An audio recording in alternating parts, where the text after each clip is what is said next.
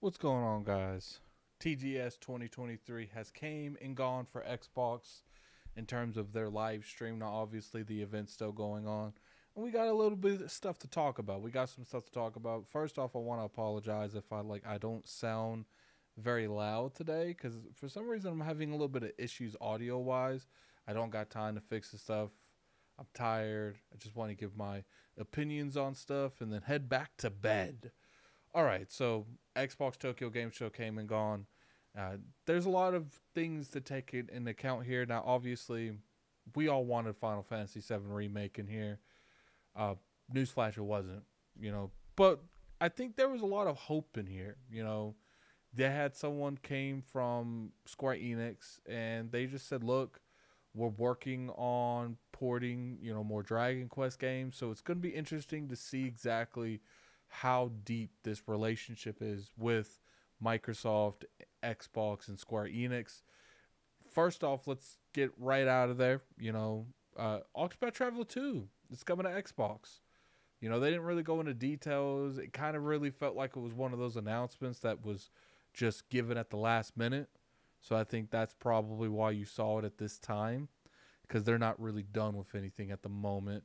They are clearly porting the game over now. So you know, the game clearly could have been on Xbox from the start. It looks like because it doesn't seem like there was any kind of like barriers or anything, but they are making it come over to Xbox. I it, what's interesting is there was no Game Pass announcement for uh, Octopath Traveler 2. You know, I don't know if that you know means anything to some of the people that are watching this video. If if that's something that you guys desperately need before you are willing to go out and buy something, like I'm very excited that it's coming to the platform. It would have been better if it was a Game Pass announcement on top of it getting announced for the platform, but I think it's really important that these games coming to Xbox is important. And I think it's more important than if they get a Game Pass day and date.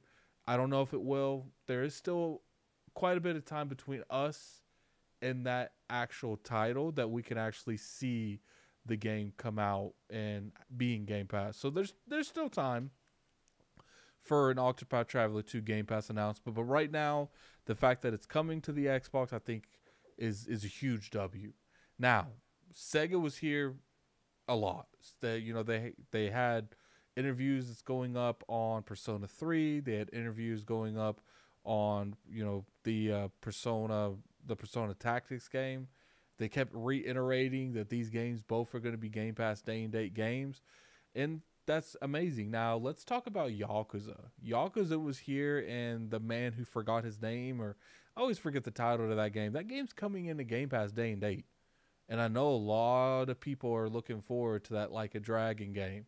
Now, Like a Dragon Wealth was here to a huge degree as well, and it, I felt Atlus and Sega carried this show. Now, we can't go away that Sega, uh, Sega and Square Enix, you know, they they're they're both very prominent studios, very prominent developers, publishers, and I feel like Square Enix definitely is in this situation now where they're being very clear. Yo, we are working on more games. We're going to be porting more games over to Xbox. They talked about Dragon Quest uh, specifically which is interesting. They didn't really bring up Final Fantasy during that whole, you know, conversation. So I'm kind of curious exactly what type of arrangements that PlayStation has with Square Enix on Final Fantasy. You know, are we going to get Final Fantasy VII remake or rebirth any, or we're going to have to wait for the entire franchise, all three games, to come out? Then we'll see the games come out for Xbox. It's going to be interesting. You know, I think we're at a point right now where Xbox is in a good spot when it comes to Japan. Now they got they got to improve. They got to improve on those Square Enix deals. They got to improve on just getting making sure games come to Game Pass. Well, not Game Pass, but Xbox in general.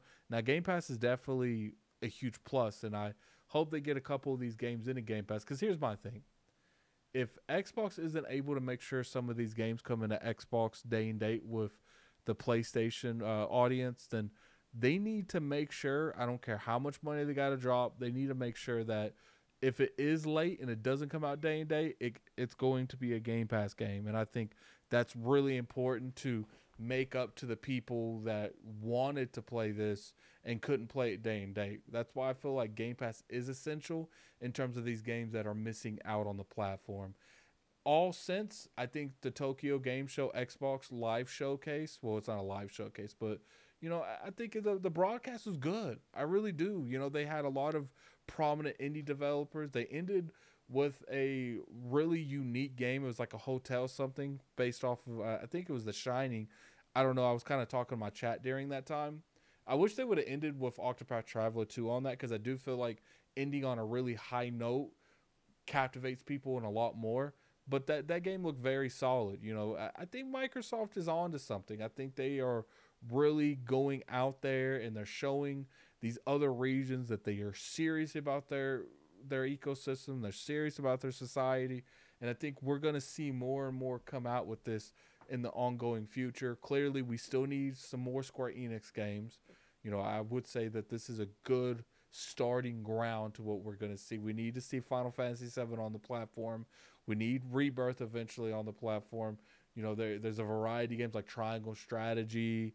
You know, uh, Trials of the Mana or whatever that game's called. There's a lot of games that people want to see on Xbox, but I want to voice the fact that we got Octopath Traveler 2. I think is really good. the fact that they didn't even have a release date shows me that this game's being ported as we speak, and we'll probably see a release date by the end of the year, probably the beginning of next year is when you actually see this game. But put in the comment section below what you guys think. You know, was it like an amazing event? No, but I would say it was a solid experience and a solid event in general. But put in the comment section below what you guys think. I'm very curious to hear your guys' opinion. And until next time, this is Gaming Addict. I'm out of here. Peace. I really enjoyed that Tokyo Game Show.